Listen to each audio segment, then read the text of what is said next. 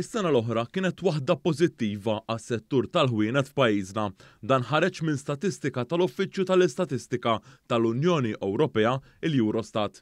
Skont din l-istatistika, ħareġ kif meta wieħed iħares lejn it-tnax-il xahar tas-sena 2021, il-ħwienet kellhom żieda ta' tmienja fil-mija fil-bejgħ f'pajjiżna meta mqabbel mat-tnax-il xahar tal-2020. Dan filwaqt li fl-Unjoni Ewropea kien hemm żieda ta' 5.5 fil-mija.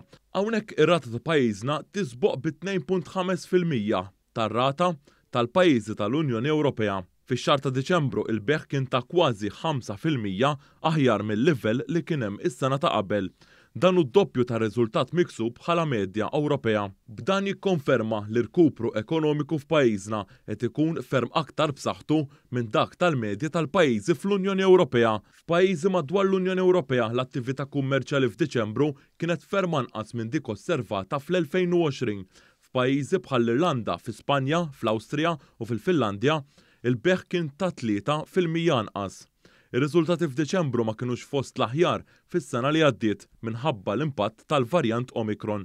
L-istatistika tal-Eurostat tindika li l-ħwienet f'pajjiżna ilhom ikabbru il-bejgħ minn Marzu 'l hawn. L-aħjar xahar għall-bejgħ f'pajjiżna meta mqabbel mas-sena ta' qabel, jiġifieri l-2020, Kien ix-xahar ta' Mejju. B'konsistenza minn Lulju, il-bejgħ kien qed jikber f'Malta b'rata ferm għolja milli kien qed jitjieb fil-bqija tal-pajjiżi tal-Unjoni Ewropea. Din l-istatistika mill-Eurostat turi żewġ fatturi li pajjiżna kellu irkupru qawwi tat-turiżmu minn Lulju.